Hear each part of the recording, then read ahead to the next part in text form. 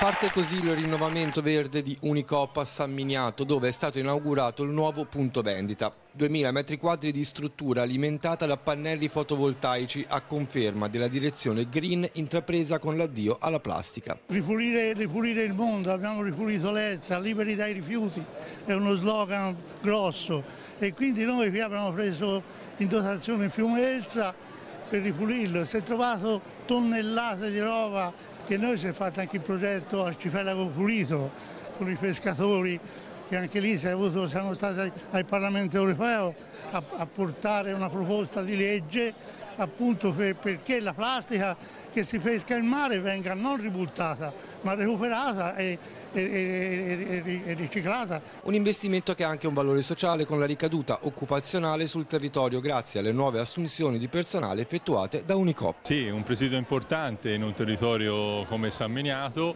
abbiamo aumentato la forza lavoro di un 10%, questo insomma in previsione di un risultato importante di questo punto di vendita.